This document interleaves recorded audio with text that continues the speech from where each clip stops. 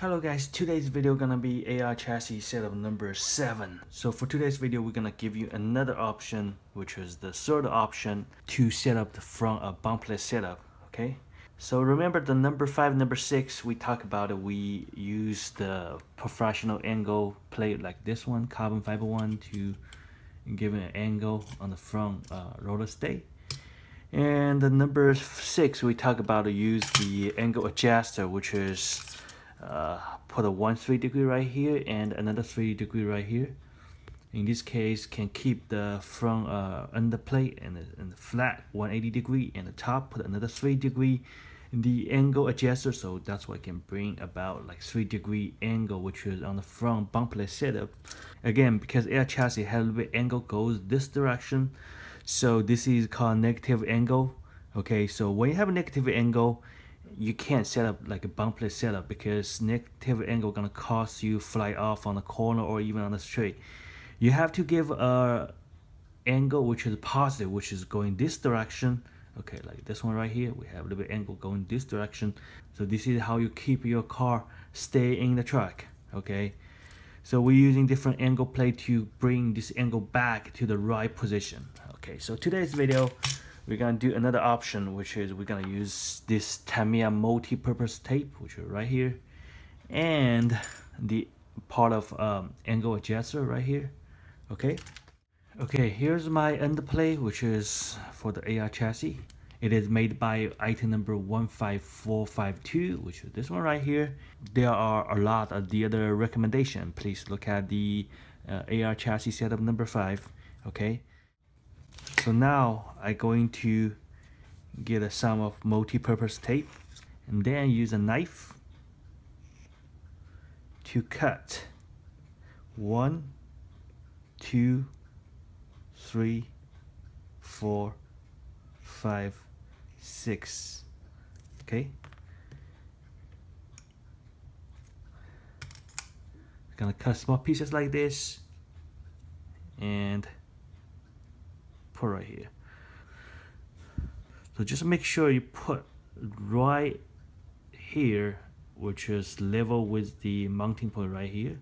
So the very end of edges right here, okay? So we're gonna keep doing that.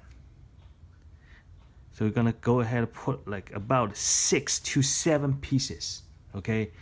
So the number, it really depends on um, it's gonna be slightly different, but uh, my calculation about sometimes five. So you just have to keep trying. So I'm gonna keep put six right now. Okay, so this is the last pieces. Okay, I just put a six tape right here and then fix it. Remove the extra scrap like this. Okay. So gonna go ahead do the same thing to the other side. So okay gonna be looks like this. Next I'm gonna go ahead put this one back to the chassis. And use 10 millimeter screw to lock back.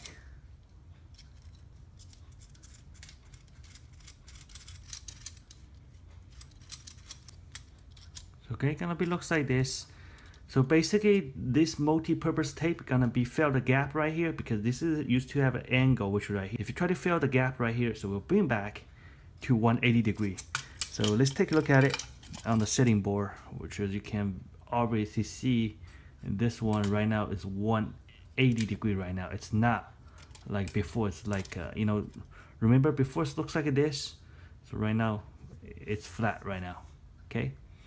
So maybe you can add one more because I still can see a very slight angle goes up like this direction. So in this case, you can put a one more piece of paper to adjust it. You just have to keep adjusting to keep to putting a right amount of paper, which is um, by keep adding or keep remove the tape.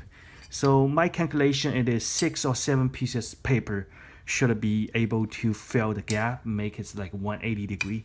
So after that, there's some extra tape just using a knife to gently remove it. Okay like this. Next get a three degree angle plate and the lock on top of the carbon fiber popsicle. Okay like this. So it's gonna be looks like this. In this case you can use two millimeter hand drill to make extra mounting point which will locate right here and here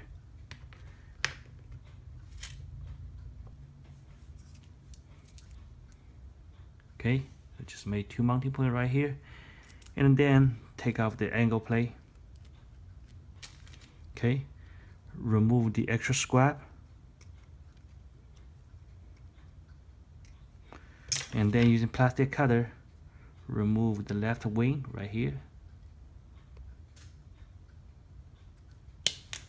And the right wing.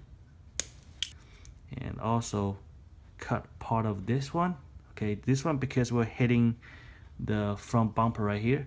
So I have to remove part of that. And this.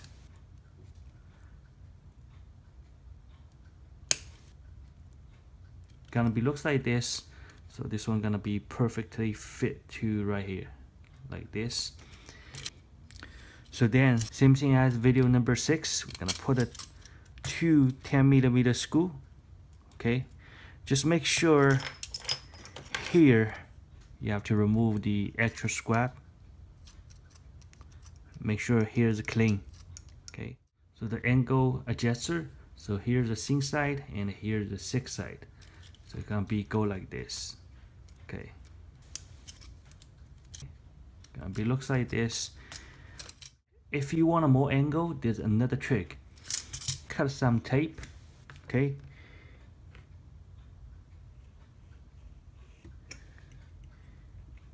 make a small pieces looks like this. And then place right here. Okay? So you can keep adding like maybe two or three pieces. So here's another pieces. So I just put the two pieces right here so this is actually what it does. It is it will bring up the back angle so which means give you more angle on the front. So next we're gonna go ahead and put this one back. Okay the roller stay.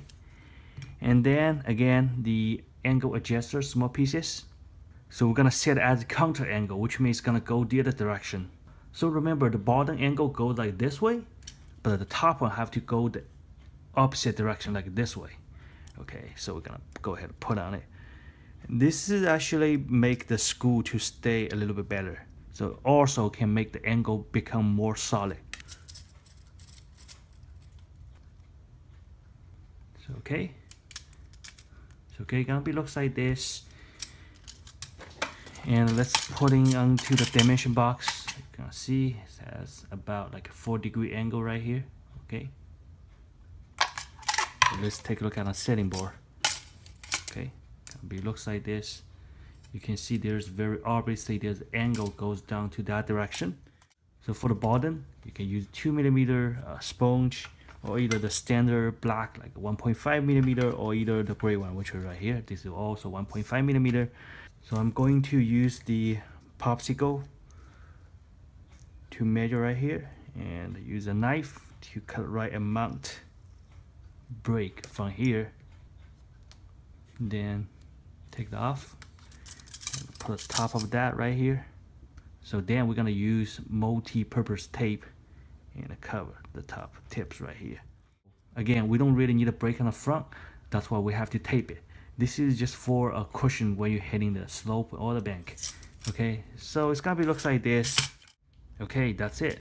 Here's today's video if you have any questions, just go ahead leave a comment. So for the next video, we're gonna continue to teach you how to set up the AR bump plate setup, which is on the back.